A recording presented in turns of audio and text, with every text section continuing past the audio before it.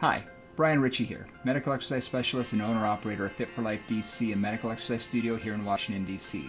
I've been asked today to talk to you guys about something that we don't do very often, but it's about that time of year that's going to happen shoveling snow.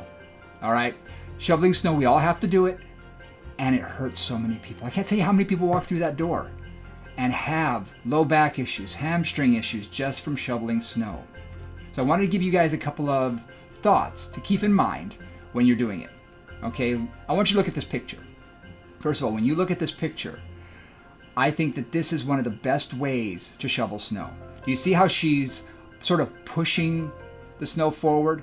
I call it the slow, snowplow method.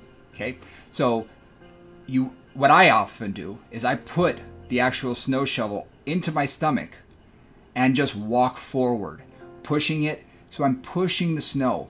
I've got a one car driveway. So for me, I start at one side and just push it across. Other side, push it across.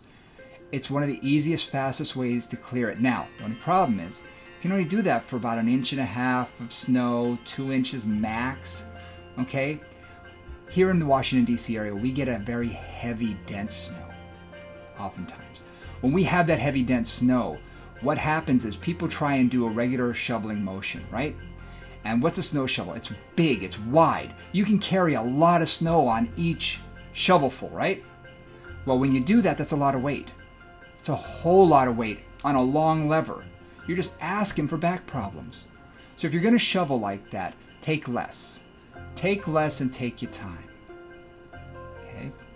Now, another thing that I see people have a tendency to do what's comfortable. And we all have one side that's very comfortable, right? Shovel on that one side. You go to the other side and you feel a little awkward. It's, it's just not right.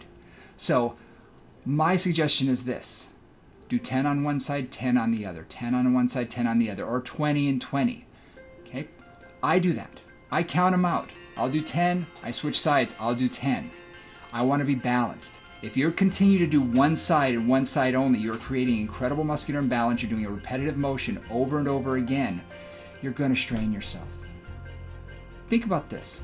If you do a workout you've never done before, or something you haven't done in a long time, like lunges, okay? You haven't done them in a long time. How sore are you the next couple of days? Really sore, right? Well, the same thing is happening here. Unless you live in a place like Minnesota or Rochester, New York, where you shovel a lot. Let's face it, you don't do it very often. We don't do it around here a few times a year. Okay? So if you're doing it only a few times a year, your body's not accustomed to it. Switch sides. Okay? Don't do something repetitively, constantly for hours and hours on end. And finally, I can't emphasize this enough. Take your time and take breaks. When we had Snowmageddon hit through here, we had about three and a half, four feet of snow. Okay? Do you think I just went through and powered through? No. I did it for a little bit, I took a break. I do it for a little bit, I take a break. Take a break. Okay?